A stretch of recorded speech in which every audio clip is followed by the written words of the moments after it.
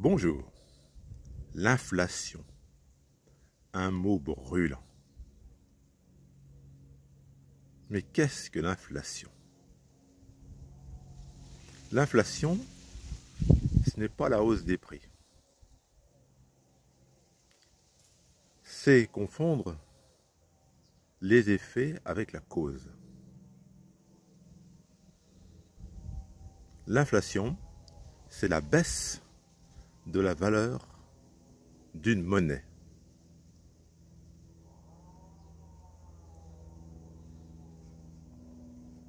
En 1971, Richard Nixon, président des États-Unis d'Amérique, décida que le dollar ne serait plus convertible en or. Conséquence, on a pu aux États-Unis faire tourner la planche à billets. Bon, c'est une image, euh, faire tourner la planche à billets. Euh, la monnaie de nos jours euh, est électronique. C'est-à-dire que la monnaie actuelle, que ce soit le dollar, l'euro, la livre sterling, le yen, le, le franc suisse, n'est en fait rattachée à rien. Donc les banques centrales peuvent émettre de la monnaie autant qu'elles veulent. C'est ce qu'on a appelé aux États-Unis le quantitative easing. Des milliards et des milliards d'euros ont été, sont et continueront à être injectés dans l'économie. Conséquence. Lorsque l'on émet de façon très importante de la monnaie sans contrepartie, il n'y a pas de contrepartie en or, ni euh, en quelques biens tangibles, eh bien cette monnaie, elle perd de la valeur. C'est ça, l'inflation. Parce que à partir du moment où la monnaie perd de sa valeur, eh bien pour acheter un même bien, il faudra plus de monnaie. Donc, les prix montent. Entendons-nous bien, il peut y avoir hausse des prix sans inflation.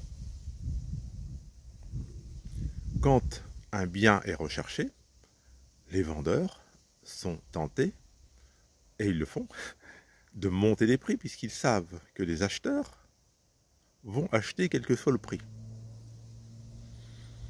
Ça peut être le cas, par exemple, dans l'immobilier concernant les résidences secondaires bien situées au bord de la mer. La loi littorale interdit de construire n'importe où, n'importe comment. Les, les, biens sont donc limités et les vendeurs ont pu ces dernières années monter les prix et vendre sans difficulté. Il peut y avoir également inflation, c'est-à-dire baisse de la valeur de la monnaie, et hausse des prix conjugués. Par exemple, actuellement, on a pu constater que dans les grandes surfaces, des prix euh, augmentent sans raison autre que le fait de s'en mettre plein les poches pour les distributeurs. Alors, comment peut-on remédier à cette baisse de la valeur de la monnaie bah, C'est effectivement très très difficile parce que on est dans, un cycle que, je qualifie d'infernal. Prenons par exemple déficit public. Bon, il faut de l'argent. Bah oui, mais où le trouver? Si on augmente les impôts, euh, les contribuables vont protester. C'est évident. Et les politiciens, eux, ils ont pour but d'être élus et réélus. C'est ça leur euh, objectif premier. Donc, émettre toujours plus de monnaie, bah, c'est une, solution de facilité dont on ne connaît pas vraiment l'issue. Ça fait des années qu'on entend euh, sur YouTube ou ailleurs prédire une explosion du système financier, mais on la voit pas, cette, explosion. Il y a des difficultés économiques pour de plus en plus de personnes, mais on ne voit pas d'explosion du, système économique. Alors, vous allez me dire euh, combien de temps est-ce que ça peut durer?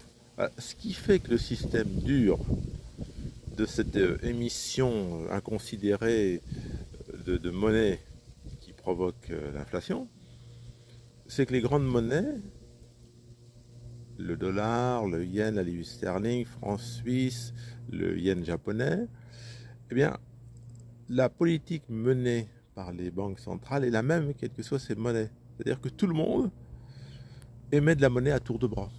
Si on prend l'exemple des États-Unis ou du Japon, c'est absolument faramineux. Faramineux. C'est même inconcevable les milliards de, de, monnaies qui, qui sont émis. Et donc, on constate que les problèmes interviennent dans des pays euh, secondaires, pays comme l'Argentine par exemple, ou le Zimbabwe, où euh, l'inflation devient complètement folle. Parce que chez nous en France, l'inflation fait souffrir, on est bien d'accord. Mais elle reste limitée par rapport à ce qui a pu se passer autrefois dans des pays, y compris en Europe, et je pense bien sûr à l'Allemagne dans les années 1920.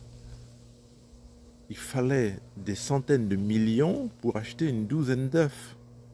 Je répète, des centaines de millions pour acheter une douzaine d'œufs. La monnaie ne valait littéralement plus rien. L'inflation était hors de contrôle. On sait hélas comment ça s'est terminé par la Seconde Guerre mondiale, parce que l'Allemagne a choisi d'être euh, menée par un dirigeant euh, autoritaire. On a donné du travail aux gens en faisant fonctionner les usines d'armement à plein. On a créé une nouvelle monnaie. Mais malheureusement, il y a eu la guerre et des millions de morts.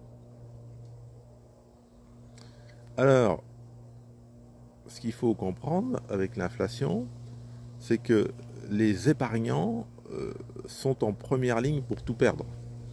Parce que quand on va changer de monnaie parce que la situation n'est plus possible, bah, euh, les, petits épargnants ne retrouvent pas leurs billes. Donc on parle par exemple du Frexit. La France pourrait euh, sortir, disent certains, de la zone euro. Bon, ceux qui seront les premiers perdants sont les épargnants. C'est comme ça. Voilà, l'inflation, n'a pas fini de faire euh, parler d'elle. N'hésitez pas à commenter cette vidéo, donnez-moi votre, euh, sentiment euh, négatif, positif, vos états d'âme. Au revoir, bonne journée.